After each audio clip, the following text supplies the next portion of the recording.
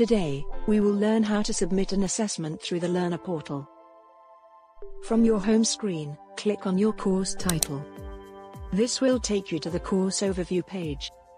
Next, scroll down and click on the cluster or module you wish to view. From here, click on Assessments. You will be shown a complete list of assessments for this module. Let's scroll back up and start at the top of the list.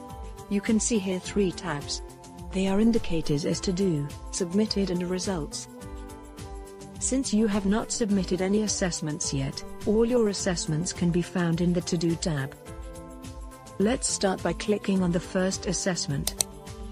Make sure you read through the overview to have a full grasp of what the assessment requires for you to do. Once you are ready, click on Start Attempt.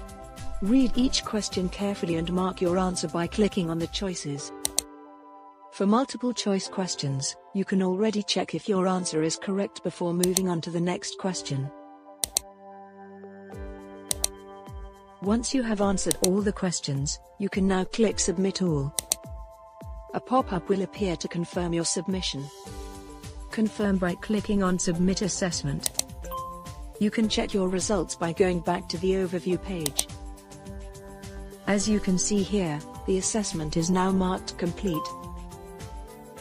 If you go back to the assessment list, you will now be able to see that your assessment has been moved from your To Do tab to your Results tab. And this concludes our presentation.